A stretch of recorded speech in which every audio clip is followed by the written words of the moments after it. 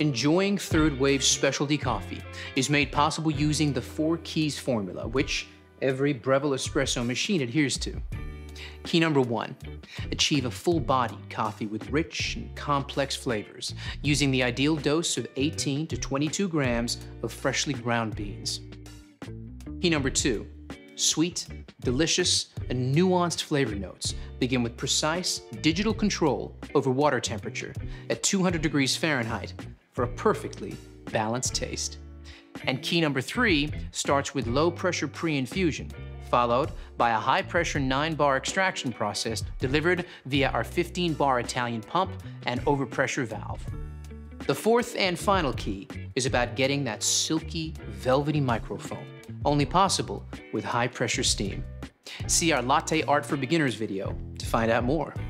Achieving the perfect espresso extraction is based on a number of factors you need to monitor and adjust regularly. Here's a barista to explain how it's done.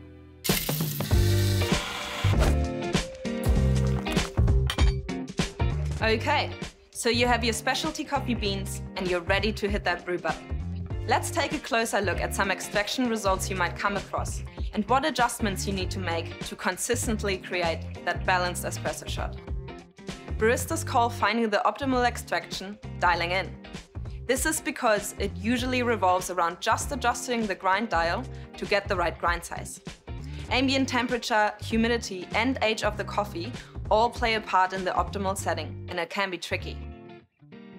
Pay attention to the shot clock as each extraction starts. If your espresso is flowing too fast, it's under-extracted.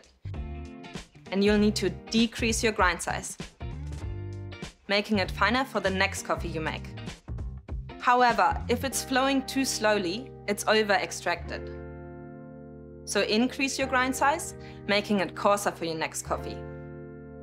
Keep an eye on this each time you make a coffee for that perfectly balanced shot. Just like this. Brilliant, Leo. Breville espresso machines take care of everything, so all you need to be aware of is dialing in the grind.